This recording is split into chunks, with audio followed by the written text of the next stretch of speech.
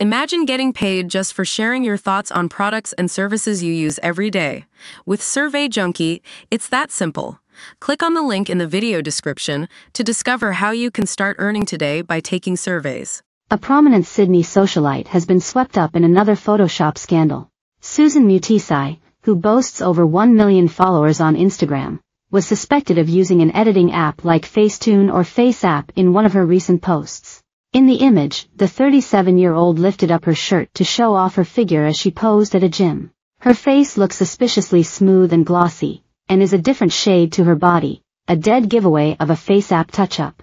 Adding to the speculation is Suzan's midriff, which also appears to be shiny and looks much different to previous images of her midsection. However, the difference could be down to a number of reasons, such as lighting and angles. It comes after Suzan recently posted an event picture which was very different to the red carpet version at the Shine pop-up store launch in Melbourne in September. She looked every inch the glamazon in an Instagram photo from the soiree, highly editing a picture taken by an official photographer. The Ugandan Australian appeared to have a much lighter complexion and elongated legs in her amended photo. Meanwhile, the red carpet snap taken by the event's official photographer showed Suzan looking slightly shorter and wearing far less makeup. She told Daily Mail Australia at the time, she has her iPhone to thank for all her flawless images, as well as Facetune and Photoshop. Sometimes the main photographer will not bring their lights. So not all the camera settings are set to accommodate for a dark-skinned girl or other skin tones, she explained to Daily Mail Australia. It depends also on the room.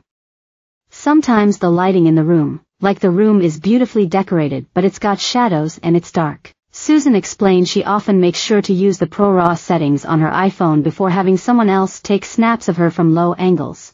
She then puts them through apps like Facetune and Photoshop on her phone to create a more enhanced version of her red carpet pictures. It helps when you have a good foundation obviously.